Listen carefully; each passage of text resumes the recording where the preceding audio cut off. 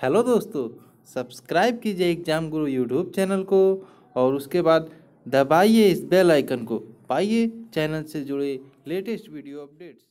Hello, नमस्कार दोस्तों, स्वागत है आपका एक बार फिर से आपके अपने इस YouTube channel Exam Guru Tips and Tricks में। दोस्तों, आज हम आपको बताएँगे एमपी पुलिस एग्ज़ाम 2017 के मध्य प्रदेश के संवैधानिक पदों पर प्रमुख व्यक्ति जो वर्तमान में है, ये जो भी क्वेश्चन है, ये एग्ज़ाम इस बार जो एग्ज़ाम हो रहे हैं एमपी पुलिस के, उसमें पूछे जा रहे हैं और आगे भी जो एग्ज़ाम होंगे पूछे जाएँगे। तो चलिए शुरू करते हैं। तो पहला क्वेश्चन है राज्यपाल। तो शुरू होता है राज्यपाल। मध्य प्रदेश का राज्यपाल कौन है?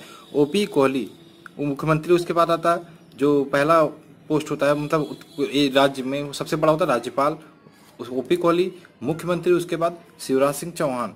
और सबसे ज़्यादा टाइम तक मुख्यमंत्री मध्य प्रदेश में रहे मुख्यमंत्री शिवराज सिंह चौहान। विधानसभा अध्यक्ष सीतार शरण शर्मा, विपक्ष का नेता अजय सिंह, मुख्य न्यायाधीश अध्यक्ष हेमंत गुप्ता और मध्य प्रदेश राज्य निर्वाचन आयुक्त का अध्यक्ष आर परशुराम। तो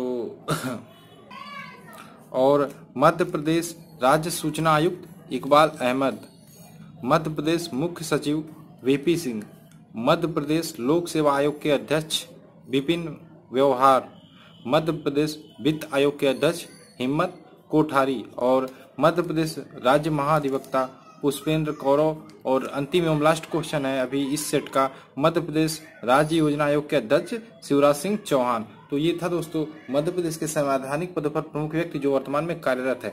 तो इसको देख लीजिए और ऐसे ऐसे मैं एमपी पुलिस के लिए आपको अच्छा से सेट देता रहूँगा।